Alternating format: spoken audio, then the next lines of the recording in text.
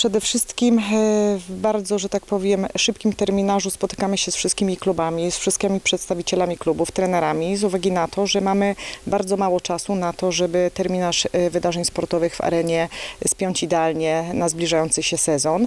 Ja na tą chwilę mogę powiedzieć, że rozpatrujemy wszystkie aspekt, e, aspekty wszystkich klubów i tutaj te spotkania również robimy wspólnie, czyli mamy możliwość wymieniania sobie poglądów, opinii, wymieniania się doświadczeniami.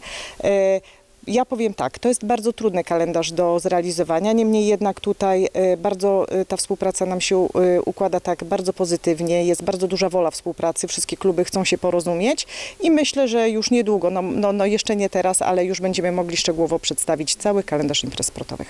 No, nasze oczekiwania są chyba jasne, bo chcemy wszystkie spotkania zarówno Eurocupu, jak i Orlen Basket Ligi Kobiet rozegrać w arenie Gorzów, y, a współpraca z zarządem układa nam się bardzo dobrze. Myślę, że znajdziemy kompromis, wypracujemy taki wspólny terminarz, bo koszykarki również chętnie przyjdą na wydarzenia artystyczne, które będą odbywały się w arenie Gorzów. Tu na starcie sezonu myślę, że znajdziemy ten terminarz na rundę zasadniczą, a tu już gdzieś w fazie playoffów, gdzie przyjdą te najważniejsze spotkania, mamy nadzieję o kolejny medal dla Gorzowa wywalczony przez gorzkie koszykarki. Tu już musimy mieć tą gwarancję, że te wszystkie najważniejsze spotkania zostaną tu rozegrane w arenie Gorzów. No i tu z panią prezes myślę, że bardzo dobra współpraca nas czeka i ten wspólny kalendarz również dla innych y, drużyn sportowych w Gorzowie znajdziemy. Dla nas też są bardzo ważne, żeby tych wydarzeń kulturalnych, artystycznych w Gorzowie było więcej, przede wszystkim na arenie. Także y, po zamknięciu tego kalendarza imprez sportowych będziemy dogrywać tą drugą część, czyli tą część artystyczną